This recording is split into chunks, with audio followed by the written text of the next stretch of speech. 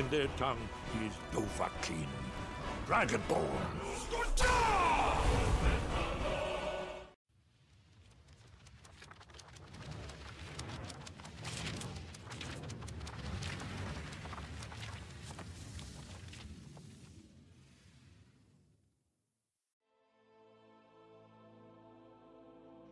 E aí, gurizada, Luiz HQ, estou aqui com mais um gameplay para o canal Porto HQ, dessa vez com o game Marvel Ultimate Alliance 2. Esse é um game de 2009? Agora não lembro exatamente a data de lançamento dele. Ele foi lançado originalmente para PS3 e Xbox 360 e no final de 2016 recebeu uma versão aí para nova geração e para o PC. Eu nunca tinha jogado ele, eu acabei comprando essa nova versão. Ela veio cheia de problemas ali, tanto o primeiro game Marvel Ultimate Alliance, o, o primeiro, né, um, e o segundo game, eles vieram cheio de problemas nessa nova versão, mas foram corrigidos depois de um tempo, né? apesar de apresentarem alguns problemas ainda. Uh, eu gosto bastante do primeiro jogo, inclusive já gra gravei aqui um gameplay pro canal Porto HQ. E recentemente eu finalizei o segundo jogo. Ele, ele não é tão bom quanto o primeiro, tá? E, mas ele teve várias melhorias, tanto gráficas quanto de jogabilidade. Ah, na realidade, a jogabilidade é a mesma, ela é bem semelhante ao primeiro jogo. E só que ele tem, tem uma boa quantidade de personagens. Vou mostrar aqui os personagens. Então já desbloqueei todos, né? E temos aqui vários personagens né, da Marvel. Aí temos Pantera Negra, que teve um filme recentemente, aí no, no início de 2018, que simplesmente bateu quase todos os recordes da, Marvel e do própria indústria do, do cinema. Temos o Duende Verde, temos Thor, temos a Psylocke dos X-Men, Homem de Ferro, a Fênix, a gloriosa Jean Grey, é uma personagem que eu gosto muito no, nos quadrinhos, né? Temos o Hulk, Magneto, outro personagem que eu sou bastante fã, a Mulher Invisível, do Quarteto Fantástico. Temos aqui a Miss Marvel, que agora se chama Capitã Marvel e vai ter um filme ano que vem, em 2019. Temos aqui o Capitão América, o Cable, que vai estar agora em maio no filme do Deadpool 2. Temos a Tempestade, temos aqui um Nick Fury alternativo, que aparece no final do jogo. Temos o Carnificina, que é um, um vilão do um vilão do Homem-Aranha. Provavelmente ele vai aparecer, existe a grande possibilidade de ele aparecer no filme solo do Venom. Temos aqui o Penance, que se não me engano, na tradução do Brasil nos quadrinhos foi traduzido como Penitência. Acho que sim. Temos aqui a Soprano, que é uma personagem dos Thunderbolts. Temos aqui o Wolverine, Luke Cage, temos aqui o Venom, que vai ter um filme, eu acho que em outubro né, desse ano, um filme solo. Temos Daredevil, o Demolidor, né? personagem que eu curto bastante, é um dos personagens prediletos da Marvel. Temos Punho de Ferro, Deadpool, Fanático, Homem Fantástico, Senhor Fantástico, desculpe, do Quarteto Fantástico. Uh, Gambit dos X-Men e Pantera Negra. Então, esses são todos os personagens que tem no jogo. Eu desbloqueei todos eles. E uh, bem bacana o jogo. Eu gosto de, desse tipo de, de jogo. Na realidade, é porque eu gosto bastante do primeiro jogo. Então, eu acabei, uh, consequentemente, acabei gostando também do, do segundo. Apesar de eu não achar ele tão bom quanto o primeiro jogo. Então, aqui tem as os desafios do jogo. Dá para refazer todas as fases. Vamos escolher uma aqui. Uh, eu não lembro qual que eu ia pegar. Vamos pegar essa aqui. We see Titanium Man, let's try to get him to say moose and squirrel. Bom, vamos lá. Como eu comentei, a jogabilidade é basicamente a mesma. Tu avança, tem essa visão isométrica. E tu pode jogar com quatro personagens ao mesmo tempo.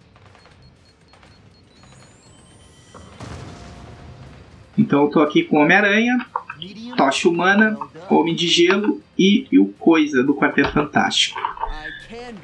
Uh, vamos, vamos jogar com coisa aqui. Então cada personagem tem quatro poderes específicos. Esse aqui é um deles.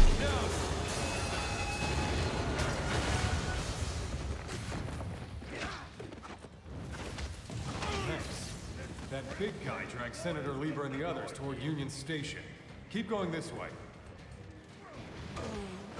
Yeah!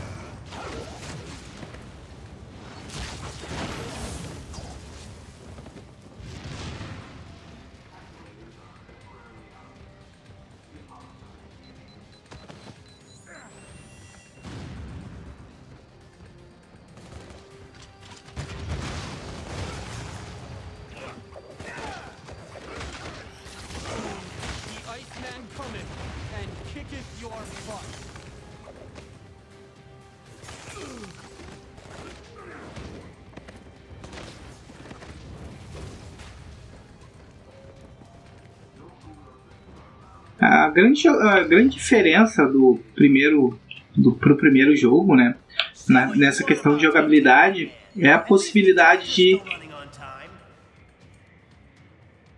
é a possibilidade justamente de fazer especiais com, entre os personagens, né, que eles chamam de fusões.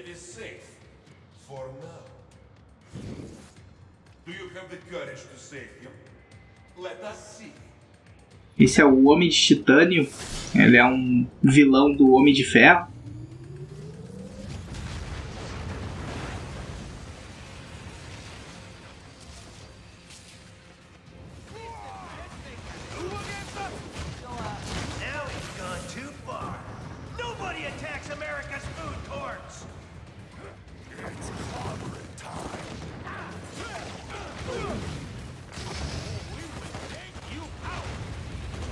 Bom, vamos ver se eu consigo fazer o especial aqui. Vou fazer o especial entre o Coisa e o.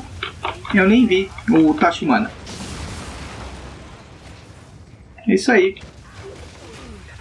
Então o interessante é que cada personagem vai ter um especial e dependendo do, perso do outro personagem que ele fizer, vai dar um efeito diferente, né? Isso é, é o grande diferencial do jogo.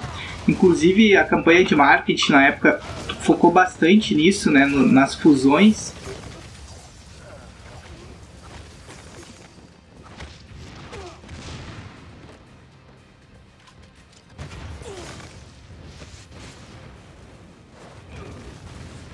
Já era.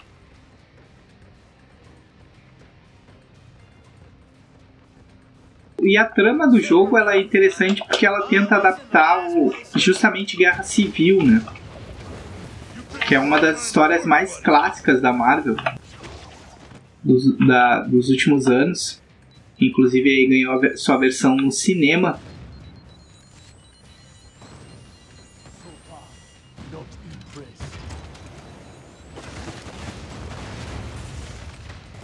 Por falar em cinema, eu tô gravando justamente no, no fim de semana do que estreou Infinity War. Eu, eu olhei no filme na, na estreia, achei incrível o filme. Sensacional, saí totalmente satisfeito do cinema. E eu gostei muito do que eles fizeram com, com o Thanos. ah, eles mudaram um pouco.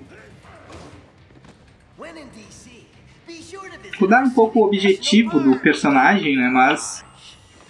As motivações, melhor dizendo. Mas mesmo assim ficou muito coerente, assim, eu gostei bastante.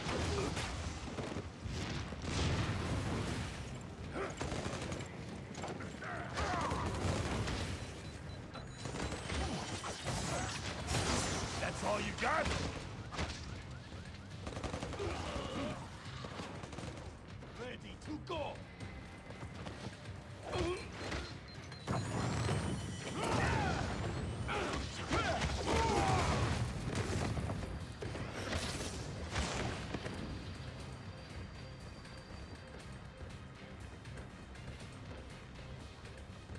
Agora que é o boss.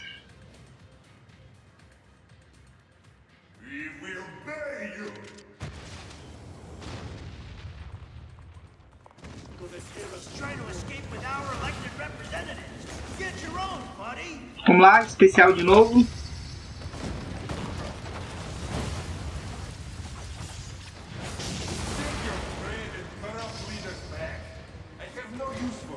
De novo?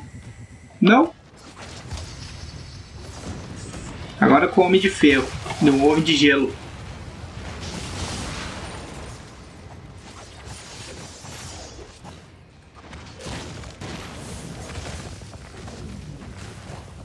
Já era. Esse aqui é um, é um boss que ele tem duas etapas para ser derrotado, então esse é só a primeira etapa. Depois eu vou encontrar ele de novo. Vamos lá, uma pequena participação aí do Stan Lee. Senator Lieber from New York State, good to meet you. You've done us a great service. You heroes are okay in my book. Maybe we should put this registration business on hold. Hey, that would be great. We'll see what we can do. I'd hate to disappoint a former member of the Yancey Street gang. Well, best of luck trying to catch that maniac. Like our state motto says, Excelsior. Don't I know you from somewhere? You don't look like the voting type. Yeah, whatever. Hey guys, I'll take these pencil pushers back to the Capitol. Give me a call if you want to hang out again. Bom, então é isso aí, gurizada. Esse é um pequeno gameplay de, do Marvel Ultimate Alliance 2. É um game que eu gosto bastante, né, apesar de não ser tão bom quanto o primeiro. Tem uma análise aí já no blog Porto HQ, eu vou deixar aí na descrição. Um jogo que eu recomendo, porém uh, o preço dele é bem elevado até hoje, né? mesmo após tanto tempo do seu relançamento. O game ainda tem um preço alto na Steam. E eu, eu acho que ele não vale tudo que ele. Uh, o preço full, né? Eu recomendo comprar aí com 50% de desconto. Então é isso aí, espero que vocês tenham gostado. Comentem, avaliem e até o próximo gameplay, gurizada. Valeu!